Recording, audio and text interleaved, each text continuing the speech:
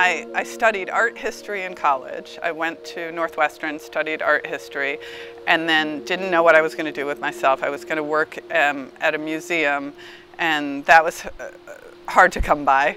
Um, ultimately, I went to architecture school and practiced architecture for 25 years.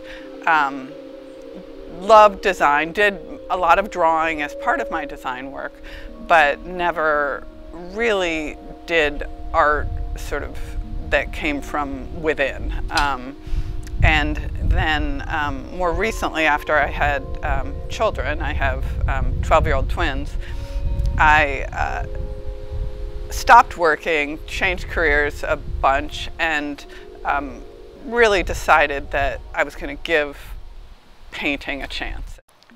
Um, it was important to me to have a career to be independent, to earn a living, and so I prioritized that. Um, and I always knew there was a very strong creative drive inside, and, and I and I utilized my creativity certainly in my work, but work is you know, I designed things for clients with their goals in mind. Mine were secondary.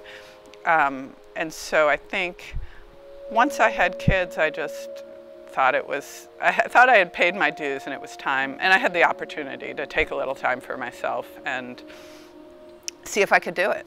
A friend invited me to join a group here in Wellesley called the Wellesley Women Artisans. We're the ones who are responsible for Art in the Park that happens next to the library um, during Wellesley Wonderful Weekend. Um, and I became very involved with that group, even though I wasn't actively making art. And we had a Christmas exchange, and every year I would um, create pieces. Um, you know, if, if 20 people were involved, we, you'd make 20 pieces and we would exchange works. And, and I found that that sort of deadline and push forced me to actually create some things I, I really liked. A few years ago, I decided that it was time to get serious about painting and um, I decided that I would paint portraits. And I really don't know where it came from, except that it seemed like the hardest thing you could do, and so it seemed like the thing I needed to do. I love, I mean, there's been several people whose classes I have enjoyed. Someone who comes to mind is um, Catherine Kehoe, who taught, whose class I took at um, Mass College of Art probably two years ago. I wouldn't say I did the greatest work in her class because I was actually transitioning from acrylic to oil and that had its own challenges.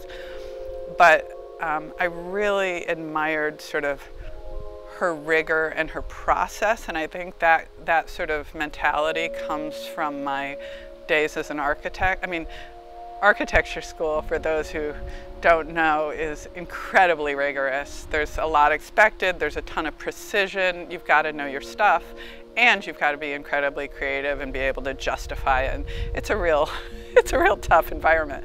So I think coming from that, um, I appreciated this rigorous teaching um, that Catherine provides.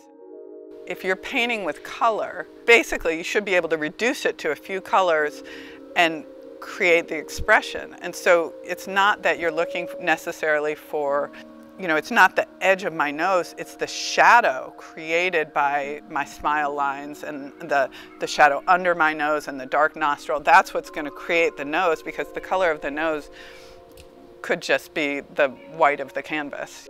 Every painter I know is on Instagram, we follow each other, we cheer each other on it, it allows you to have a virtual community that's just unmatched. I mean, it's, it's certainly during COVID and, and even before COVID, it's been an incredible resource for me.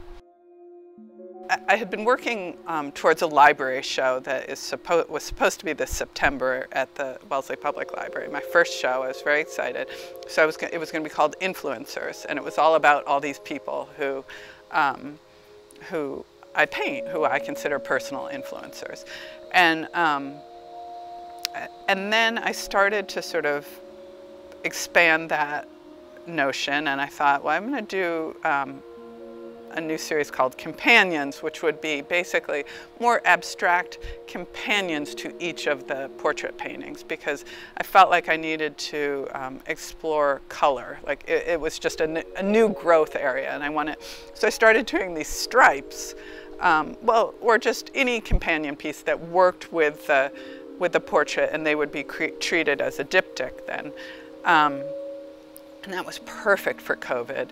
But then I think the Black Lives Matter um, movement really hit me at a deeper level, and I had, I had, um, and and just the general um, feeling of the nation was starting to feel a little more depressing, and um, and there was a real shift in my painting, and I no longer felt like I, I could just be painting beautiful stripes, and I had done some, I had done a painting of um, Rosa Parks, I did, had done a painting of Rosa Parks, and Rosa, um, it was just a, a simple portrait of Rosa Parks, but I felt like it needed another layer of complexity. I layered in her arrest number, and then I decided that I wanted to do a, um, a partner piece to that, a companion piece to that, and the stripes, it just wasn't coming to me as stripes. I started to do a skin color um, analysis, so I did sort of a gradient of white to black skin color, skin tones. It didn't pair with that. It was sort of a standalone piece. Anyways, long story short, the um, the new work is has evolved to be much more political. I'm, I painted the bus that Rosa was on, and and I'm I'm still working on that. And then I started a painting, a big painting of Bryan Stevenson, who is the um, attorney who started the Equal Justice Initiative, and um, paired with him the, my most political um, painting yet, which is um, something called Yellow Mama, which is the electric chair that killed 135, um, executed 135 um, people in Alabama between 1927 when it was built and 2002. And it's just a remarkable story and hopefully image for me because um, it's this chair that has this like affectionate name, Yellow Mama, and it's killed all these people. One of the silver linings of COVID has also been that, you know, it's forced me to just push myself out there. And um, the truth is, I probably never would have pursued a relationship with the Wellesley Society of Artists, not because I wasn't interested in any of them, just, I don't know, it just hadn't occurred to me. I had this other group, the Wellesley Women Artisans. Um, but then I had the time on my computer. I'm looking at people. I see all the talented, wonderful work being created by this group, and I felt like I need to know these people. I've yet to meet these people. In fact, I've yet to even do anything more than email with them.